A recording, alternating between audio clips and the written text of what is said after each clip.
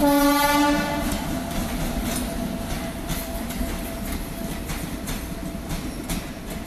कृपया ध्यान दें। देहरादून से चलकर जटियाला होते हुए अमृतसर जाने के लिए देहरादून एक्सप्रेस तिरपा नंबर एक पर पहुँच चुकी है। यदि यात्रियों ने गाड़ी द्वारा यात्रा करनी हो तिरपा नंबर एक पर पहुँचे।